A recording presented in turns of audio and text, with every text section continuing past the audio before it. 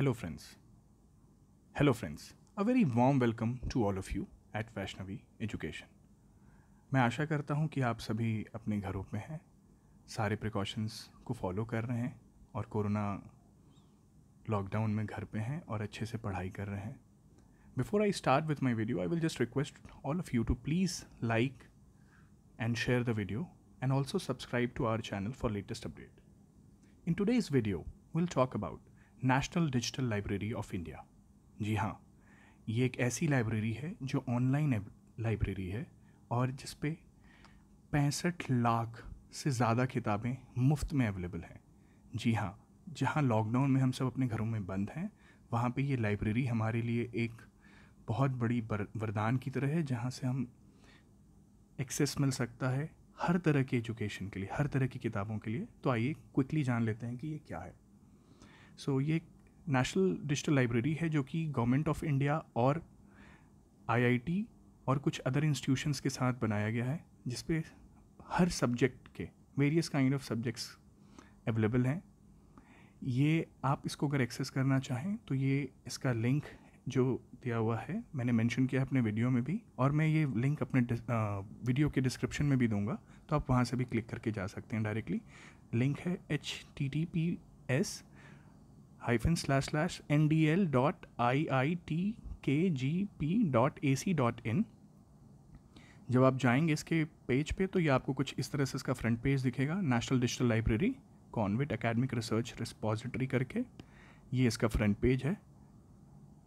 इस पर बहुत अच्छी बात ये है कि ये सारा एजुकेशन और ये मटेरियल है, ये बिना रजिस्ट्रेशन के भी आपको अवेलेबल है।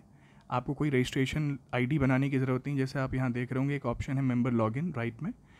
पर अगर आप सिर्फ़ यहाँ पे एजुकेशन चाहते हैं बिना रजिस्टर किए तो भी अवेलेबल है। आपको ये ऊपर लिंक दिया हुआ है, corona outbreak, study from home. इसमें school U G engineering U G science U G other discipline language management law सारे कोर्सेज के मटेरियल अवेलेबल हैं। जब आप जाएँगे तो यहाँ पे आपको कुछ इस तरह से नेक्स्ट पेज दिखेगा। और एक इंटरेस्टिंग चीज़ ये है कि इस पर फोर्टी सेवन मिलियन और थर्ड आइटम्स हैं और नाइन मिलियन ऑर्थर्स के द्वारा। So it is one of the largest library which you can access online and use and इस पर सौ टाइप की लर्निंग रिसोर्सेज हैं apart from you know course material other sources से भी। इस पर टेक्नोलॉजी साइंस ह्यूमनिटीज़ एग्रीकल्चर और अदर सोर्स सारे सब्जेक्ट्स अवेलेबल हैं।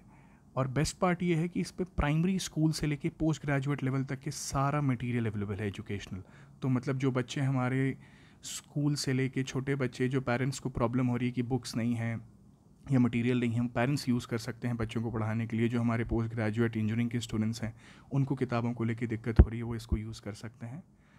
400 लैंग्वेजेस में है तो लैंग्वेज का कोई बैरियर नहीं कि सिर्फ़ एक लैंग्वेज में है या दो इंग्लिश में है या हिंदी में है, बाकी उनकी हर रीजनल लैंग्वेज में भी अवेलेबल है।